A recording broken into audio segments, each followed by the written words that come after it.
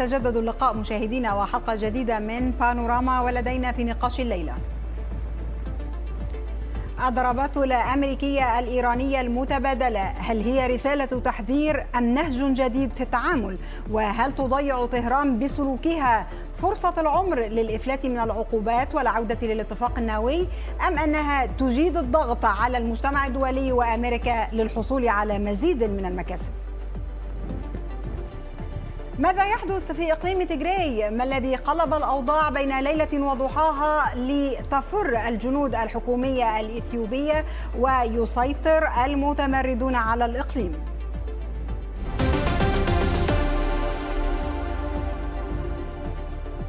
رسائل حازمة وصارمة أرسلتها إدارة الرئيس الأمريكي جو بايدن لإيران من خلال استهداف ميليشياتها في العراق وسوريا وذلك ردا على هجمات بطائرات مسيرة شنتها الميليشيات ضد أفراد ومنشآت أمريكية في المنطقة. هذه الهجمات ليست الأولى فقد بلغت منذ تولي إدارة بايدن السلطة نحو 45 هجوما. الرد الأمريكي جاء باستهداف ثلاثة مواقع اثنان في البوكمال السورية وهدف ثالث في القائم غرب الأنبار العراقية. الضربات الأمريكية استهدفت ميليشيا كتائب حزب الله العراقي وميليشيا كتائب سيد الشهداء التي تشكلت بدعم إيراني للقتال في سوريا عام 2013 المرصد السوري لحقوق الإنسان أكد في هذا السياق مقتل خمسة عناصر على الأقل من تلك الميليشيا وإصابة آخرين في الجانبين السوري والعراقي. وزير الخارجية الأمريكي أنتوني بلينكين قال تعليقا على الضربات الأمريكية أملي أن تكون غارات الليلة الماضية وجدت آذانا مصغية وأنها ستردع أي تحركات في المستقبل.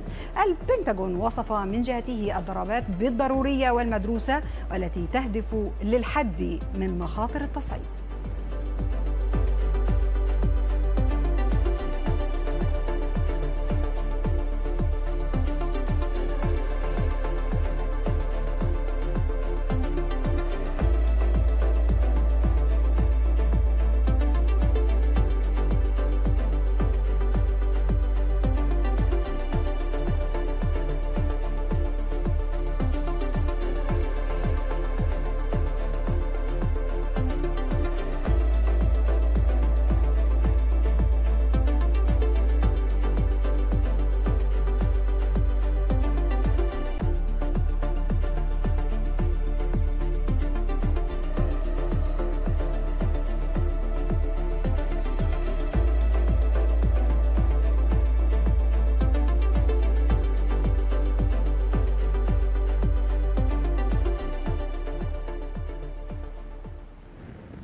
وينضم إلينا في هذا النقاش في بانوراما من واشنطن عبر سكايب السفير فيليب كراولي مساعد وزير الخارجية الامريكي سابقا. أهلا بك سيد فيليب. ومن واشنطن أيضا عبر سكايب الدكتور فراس مقصد الأستاذ في العلاقات الدولية في جامعة جورج واشنطن. أهلا بكما إلى هذا النقاش. نبدأ بما غردت به زميلة صحفية على تويتر الكاتب التي ذكرت بشكل واضح تعليقا على الحرب التي لا تنتهي كما وصفتها عدة تقارير. قالت إيمي أشفورد الزميلة المقيمة بمجلس الأطلسية على تويتر يعتقد كثيرون أن تعبير الحرب التي لا تنتهي مجرد تعبير انفعالي لكنه في الحقيقة وصف مناسب لنوع الضربات التي شد التي شهدناها مجددا حيث لا يوجد هدف استراتيجي ولا نقطة نهاية واضحة مجرد وجود دائم وضربات متبادلة. أبدأ بالسيد كراولي هل نحن بصدد رسائل أمريكية قصيرة إلى إيران أم أن الأمر تعدى ذلك إلى تغيير في سياسة بايدن تجاه إيران؟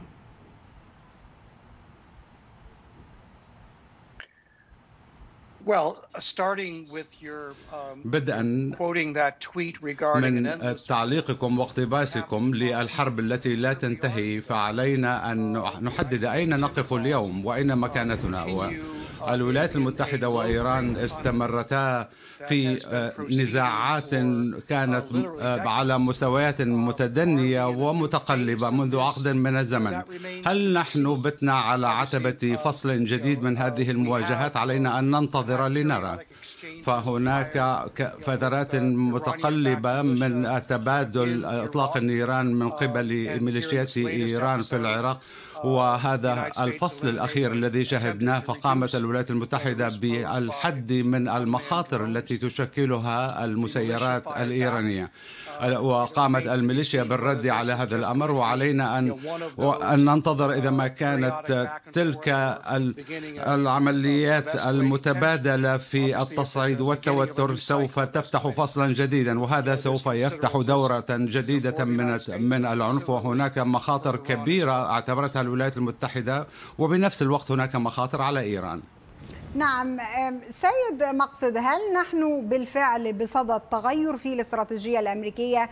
من يتابع الإعلام الأمريكي يلاحظ أنه ثم تعبيرات يتم استخدامها في الفترة الأخيرة تعبر عن عن أن إدارة بايدن غير مرتاحة، غير مطمئنة، غير راضية عن طريقة إيران في التعامل مع ما بدأ من مرونة أمريكية. ما الذي يحدث في العقل الأمريكي الآن؟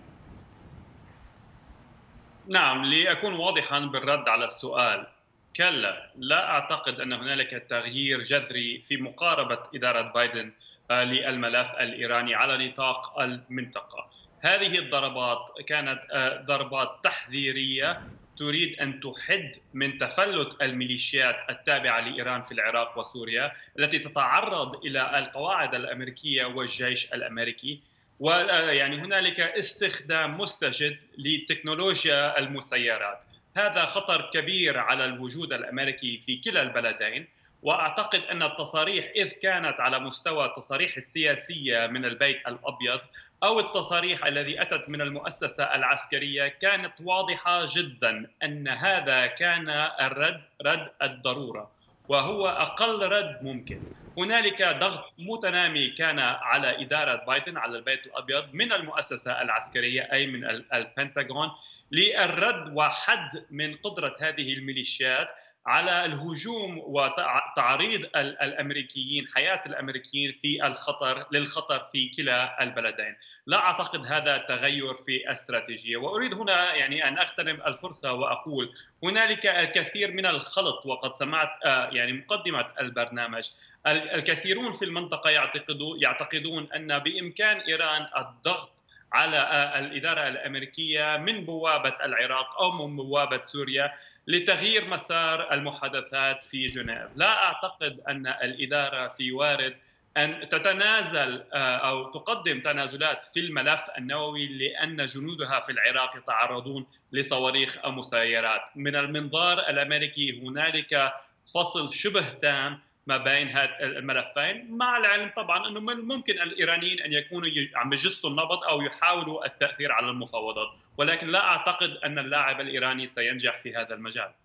نعم ولكن هناك ملحوظة مهمة. صحيح أن هناك تركيز في فيينا على مسألة النووي ولكن أيضا الضربات الأمريكية جاءت لأمر آخر وهو المتعلق بميليشيا إيران في المنطقة. وهي النقطة التي كان يحذر منها كثيرا حلفاء أمريكا في المنطقة. ما بدا واضحا أن هناك تنبه أو تغير في استراتيجية بايدن فيما يتعلق في التعامل مع هذه النقطة وهي النقطة الخاصة بميليشيا. في, في الأيام الأولى حذر بعض المواقع التي كانت تدعم هذه الميليشيا بشكل كبير.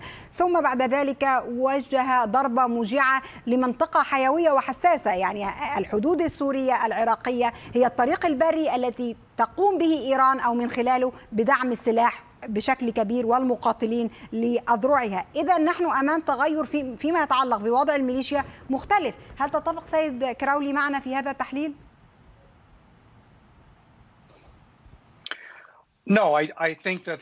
كلا. Um, a continuation أعتقد أن هذا نوع من استمرار الأبعاد التي آه، آه، كنا قد شهدناها في العداء بين إيران والولايات المتحدة في المنطقة. إيران بكل تأكيد ترغب بأن تستمر في بسط نفوذها على المسرح العراقي السوري من خلال سعيها لطرد القوات الأمريكية من العراق واستخدامها لهؤلاء الوكلاء والميليشيات قد يكون جزءا من تلك الاستراتيجية.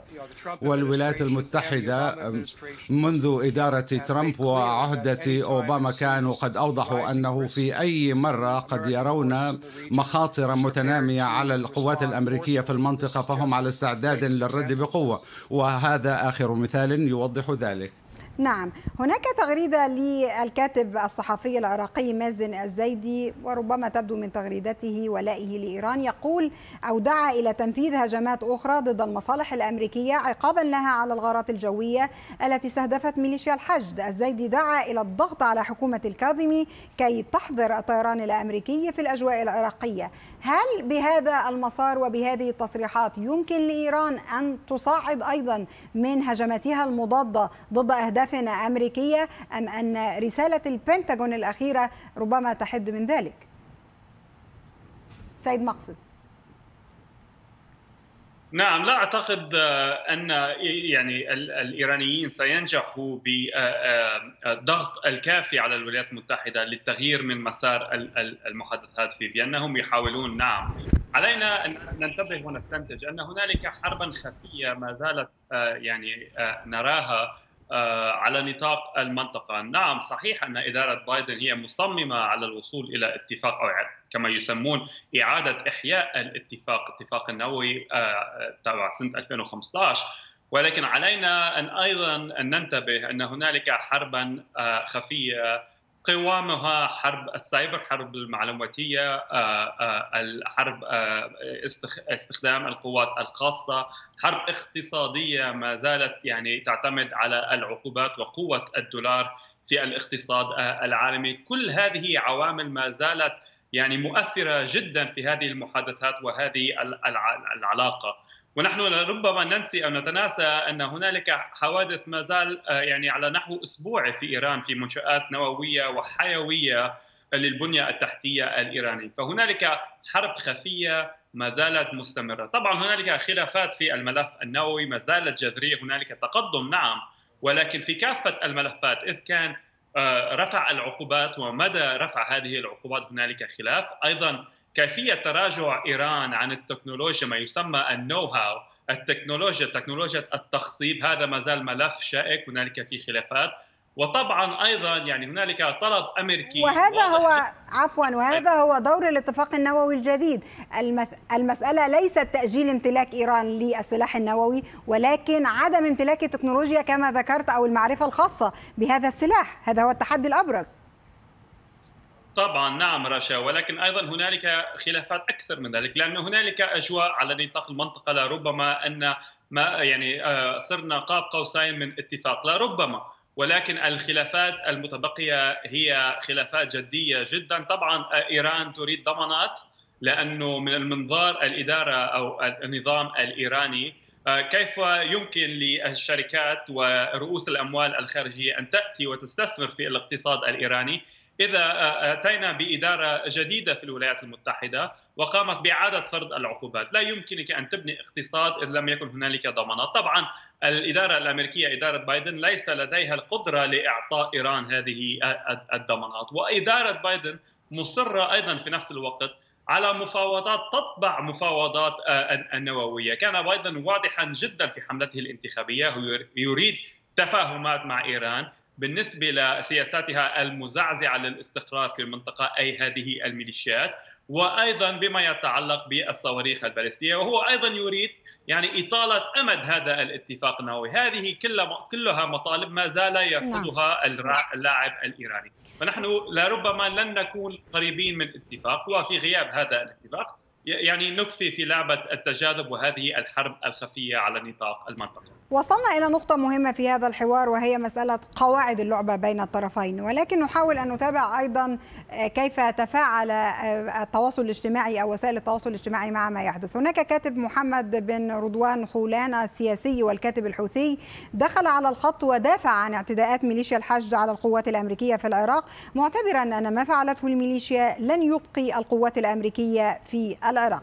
هناك تساؤلات تتعلق بوضع الميليشيات في المنطقة بالصواريخ البالستية كما ذكر دكتور فراس. الكل يعلم أن إيران تستخدم لعبة المراهنة أو يعني التلاعب بفكرة الملف النووي الإيراني لتمرير الصواريخ البالستية والسلوكيات العدائية لميليشياتها في المنطقة. هل تقبل إدارة بايدن بقواعد لعبة كهكذا؟ سيد كراولي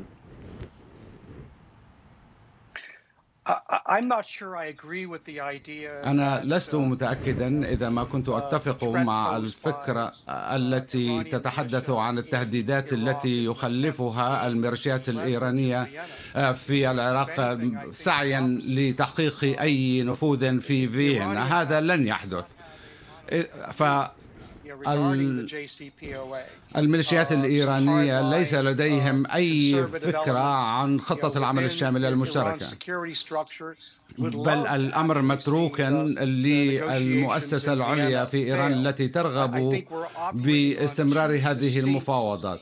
أعتقد أنه علينا أن نتحدث عن عنصرين مختلفين. التوتر الإقليمي الذي كنا نشهده بين الولايات المتحدة وإيران منذ فترة من الزمن والمفاوضات التي تجري في فيينا. فهما ملفان منفصلان لكنهما يلتقيان من حيث أن أي زيادة في التوتر أي تصعيد أو صراع قد ينفجر بين الولايات المتحدة وإيران فقد يصعب من بالنسبة لإيران أو الولايات المتحدة للتوصل إلى اتفاق حول العودة للامتثال بخطة العمل الشاملة المشتركة إن سياسة هذه المفاوضات يمكن أن تتأثر أيضا بشأن ما يحدث في المنطقة. سيد كراولي هل ما تقوله لي ولنا في المنطقة الآن؟ لأننا نريد أن نفهم أكثر. أن ما يبدو من مرونة من قبل إدارة بايدن في مفاوضات فيينا تقابلها مواجهة حقيقية على الأرض من ناحية أخرى ما بين الولايات المتحدة وإيران في أوجه أخرى تتعلق بعمليات عسكرية متبادلة؟ هل هكذا نفهم الفصل ما بين الجانبين؟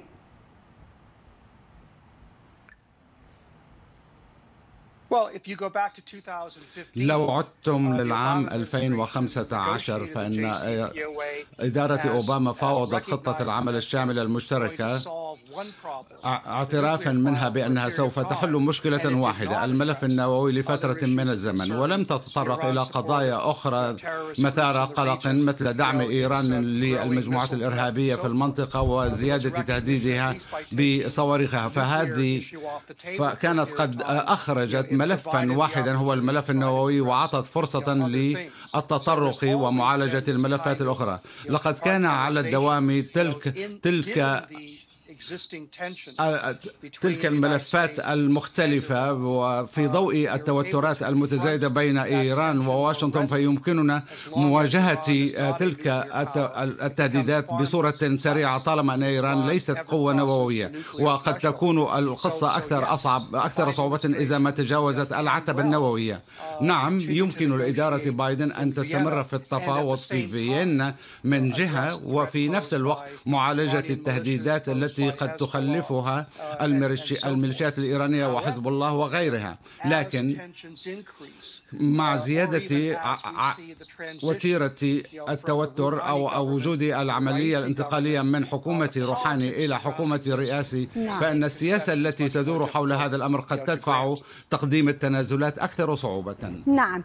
آه، ربما بدأ دكتور فراس الآن أن هناك أوجه مختلفة للسياسة الأمريكية تجاه إيران. هذا ما فهمناه من العرض الذي تقدمت به وتقدم به السيد كراولي. لفترة طويلة منذ قدوم بايدن إلى السلطة في البيت الأبيض وهناك مخاوف من آه، حلفاء واشنطن في الإقليم من أن يتم إعطاء أهمية كبيرة للبرنامج النووي الإيراني على حساب الملفات الأخرى التي تشكل خطر بالفعل على دول المنطقة. هل هذه رسالة من الإدارة الأمريكية للحلفاء اطمئنوا أم ماذا؟ ترشا طبعا هنالك تطمينات كثيرة للحلفاء في المنطقة. اليوم يعني وزير خارجية المملكة العربية السعودية يجتمع مع نظيره الأمريكي. هذه المحادثات و التنسيق هو دائم. ولكن علينا أن نرى الأمور في الإطار الأوسع، لا شك أن الولايات المتحدة إذ كانت إدارة بايدن أو حتى إدارة ترامب الذي سبقتها هنالك إعادة تركيز للاستراتيجية العالمية للولايات المتحدة التركيز على الصين وروسيا. وإعادة تموضع في منطقة الشرق الأوسط وكانت صحيفة الول ستريت جورنال في الأسبوع الماضي ذكرت أن هنالك يعني انسحابات للعتيد والعسكر الأمريكي في إعادة تموضع في المنطقة. هذا لا يعني أن الولايات المتحدة ستترك منطقة الشرق الأوسط. الشرق الأوسط ما زالت منطقة حيوية للاقتصاد العالمي لعدة أسباب ليس فقط النفط ولكن أيضا الممرات المائية هرموز وطبعا البحر الأحمر. كل هذه مواضيع حيوية جدا للإقتصاد العالمي والولايات المتحدة باقية في المنطقة. هنالك مقاربة مختلفة. هنالك تعاون أكبر مع الحلفاء هنالك اعتماد على العمليات العسكرية الخاصة الحروب الاقتصادية العقوبات. مقاربات مختلفة. الولايات المتحدة لن تترك العراق ولن تترك سوريا. الفرق لربما ما بين إدارة بايدن وإدارة أوباما كلاهما طبعا إدارات ديمقراطية. أوباما لربما كان يركز أكثر على الملف النووي، نحن نعلم جيدا أن هنالك حتى رسائل تطمينية بعث بها أوباما وكذلك نشرت في الوقت يعني منذ سنين. بعث أوباما برسائل تطمينية للمرشد في إيران. يقول له أنه نحن لن نطيح بنظام الأسد الذي يرتكب المجازر في سوريا للتركيز أكثر على الملف النووي. وكان هنالك انسحابات من العراق أيضا. طبعا. أعتقد أن من تتكلمين معهم المسؤولين في الإدارة الحالية يقولون أن نحن نستطيع بإمكاننا as they put it walk and chew gum أي بإمكاننا أن نركز على الملف النووي ونفاوض في فيينا ولكن سندفع بإيران أو سنرد على إيران على نطاق سياساتها المزعزعة للاستقرار في المنطقة كنت أثرت نقطة مهمة وهي المقارنة ما بين أوباما وبايدن لأن في الحقيقة هناك تحليلات كثيرة كانت تشير أن بايدن ليس أوباما كما كان يعتقد الكثيرون في المنطقة العربية. أرجو أن تكمل هذه الفكرة لأنها ربما تروق لنا هنا. نعم طبعا أنا سبقت ونشرت مقال عنوانه هذا بالضبط. Biden is not Obama بعد انتخاب الرئيس بايدن طبعا الجبه الحزب الديمقراطي ككل هنالك أجواء لا تريد ما يسمى وكان السفير كراولي يعني تطرق إلى هذا الموضوع forever wars الحروب التي لا تنتهي. ولكن أنا أعتقد نعم نحن لن نتوجه إلى حرب على القليل. الاداره إدارة بايدن لا تريد حربا جديدة في منطقة الشرق الأوسط. هذه ليست ليس هنالك شعبية هكذا موضوع في الداخل الأمريكي. وهنالك لكن لكن هنالك ما يسمى الحرب بين الحروب the war between wars. أي هذه الحروب التي تعتمد على العمليات الخاصة وعلى تقنية السايبر والمعلوماتية والانفجارات والارتكابات التي تحدث داخل إيران الذي يعني يغلفها الغموض. هذه الحروب ما بين الحروب وأعتقد أن إدارة بايدن ستعتمد كثيرا على هذه هذه التكتيكات وهذه التكنولوجيا في المرحلة القادمة. هي لن تستسلم في منطقة الشرق الأوسط ليس فقط بمواجهة إيران ولكن أهم من ذلك من المنظار الأمريكي في مواجهة رجوع رجوع النفوذ الروسي إلى المنطقة من البوابة السورية ومن البوابة الليبية وأيضا طبعا تغلغل الصين من خلال الاقتصاد واقتصادات العالم العربي والتجارة، التجاره أيضا يعني نعم. الصين اليوم نعم. أصبحت اللاعب الأساس بالتجاره مع حلفاء الولايات المتحدة في المنطقة. نعم هناك تغريدة أيضا لمدون عراقي يسمي نفسه وليد الكيلاني يتعجب مما أسماه بصمت زعيم التيار الصدري مقتدى الصدر وعدم إدانته للضربات الأمريكية بحق ميليشيا الحشد في إشارة من الكيلاني ربما إلى وجود مصلحة للصدر في هذه الهجمات. سيد كراولي هذا ينقلنا إلى الداخل العراقي وهناك من اعتبر أن ما حدث يمثل تحدي على حكومة الكاظمي وضغوط متزايدة عليها من قبل تيارات ترفض الوجود الأمريكي في العراق إلى أي مدى يمكن أن تنتصر هذه الرؤية وترضخ أمريكا لهذه الضغوطات هل تنسحب من العراق؟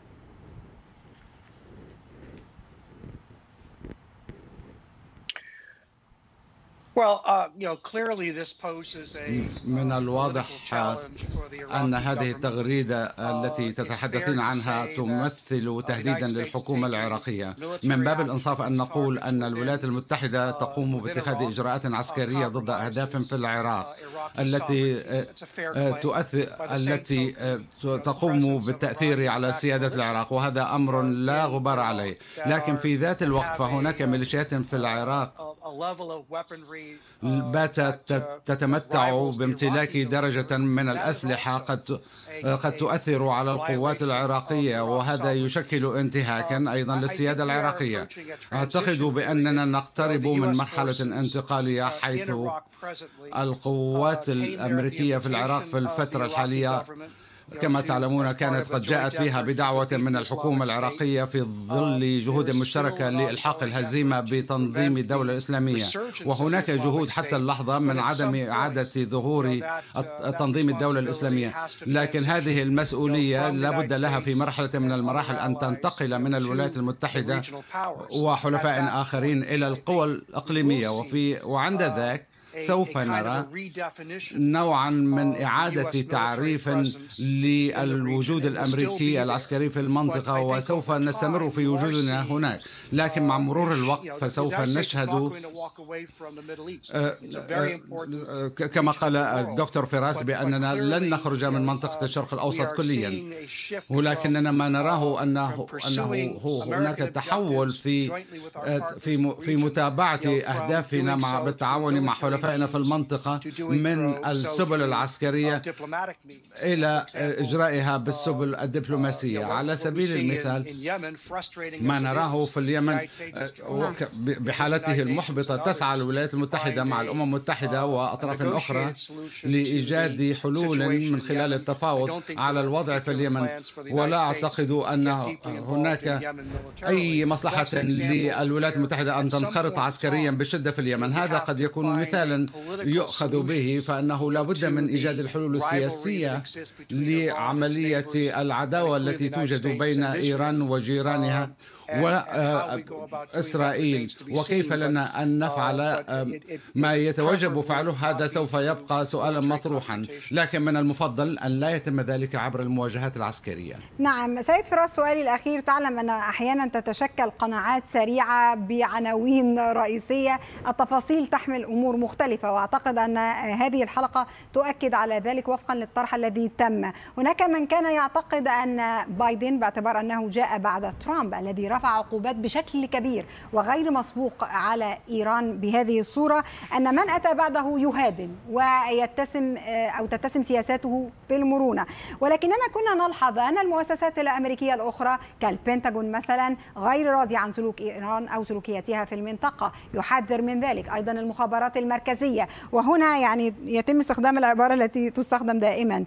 أمريكا دولة مؤسسات لن تنتصر إدارة أو فصيل بعينه عن توجهات توجهات أخرى. ما الذي يعنيه هذا بالنسبة للسياسة الأمريكية آه، تجاه إيران بصفة عامة خلال المرحلة المقبلة؟ نعم أعتقد أن إدارة آه، الرئيس السابق أوباما لربما ذهبت بعيدا في الدبلوماسية وكانت مستعدة أن تتخلى عن تتخلى عن أوراق وسياسات مهمة في آه، منطقة الشرق الأوسط. هذا ما أثار يعني حفيظة الحلفاء الحلفاء العرب وغير العرب أي إسرائيل أيضا. آه، وأعتقد أن كان هنالك ما يسمى ال overcorrection أي آه، الرئيس ترامب وإدارة ترامب ذهبت بعيدا في الضغط آه، سياسة الضغط القصوى ولكن لم يكن هنالك بلورة ل يعني استراتيجية تفاوضية واضحة وكانت المطالب مطالب عالية السقف جدا لدرجة أن إيران لم تنخرط في هكذا مفاوضات.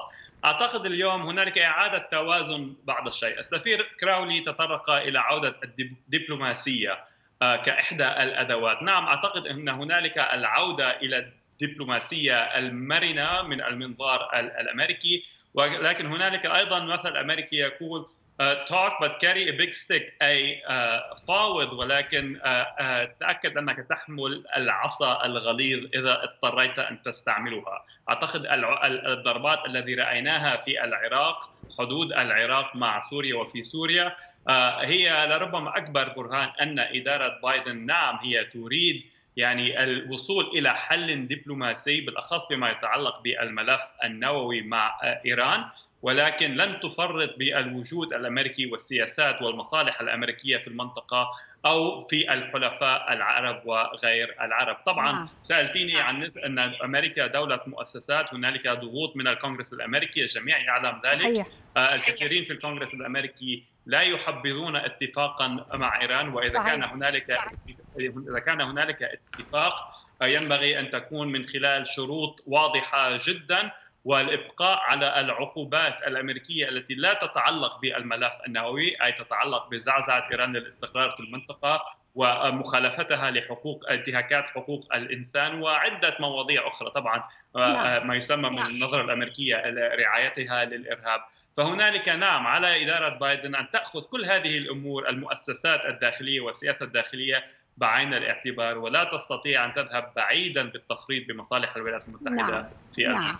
وهناك عنوان لمقال جديد يمكن أن تكتبه أيضا بالتأكيد بايدن ليس ترامب في كل الأحوال ولكنه أيضا بالتأكيد ليس أوباما بالنسبة لإيران وعليها أن تعي ذلك تماما. ضيوفي الأعزاء عبر سكايب من واشنطن الدكتور فراس مقصد الأستاذ في العلاقات الدولية في جامعة جورج واشنطن. شكرا لك دكتور. وأيضا معالي السفير فيليب كراولي مساعد وزير الخارجية الأمريكي سابقا. تحياتي معالي السفير وبانوراما مستمرة وفيها بعد الفاصل. ماذا يحدث في إقليم تجري؟ ما الذي قلب الأوضاع بين ليلة وضحاها لتفر الجنود الحكومية الإثيوبية ويسيطر المتمردون على الإقليم؟